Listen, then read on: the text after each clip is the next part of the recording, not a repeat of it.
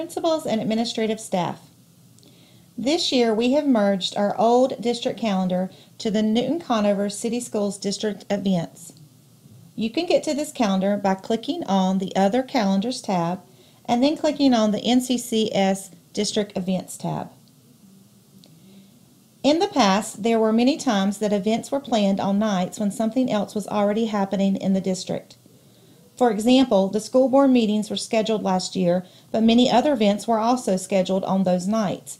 This causes a problem for all of us to be able to be in attendance in your school buildings.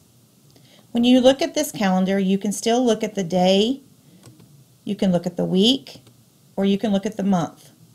So as you're planning at your sit retreats, please make sure that you use the Newton Conover City Schools District Events tab to, to check to see if anything is already planned on the dates that you would like to put things on.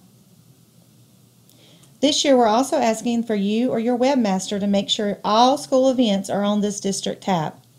This way, we will be able to ensure that we are not scheduling events when other things in the districts are occurring.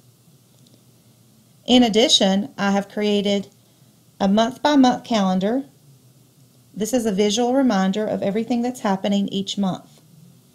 I would also ask that you make sure that you update this page on your Google Drive or have your webmaster complete this or the third option is to send it to Dawn West and she can add the information there.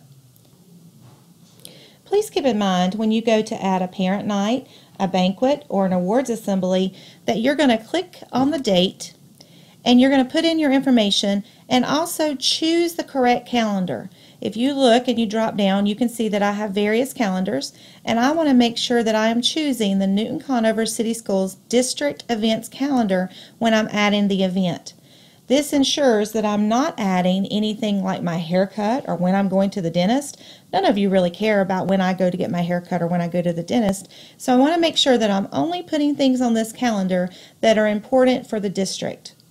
I truly appreciate each of you taking the time to train your webmasters to make sure that we have all of the events up to date and on our NCCS district event calendar.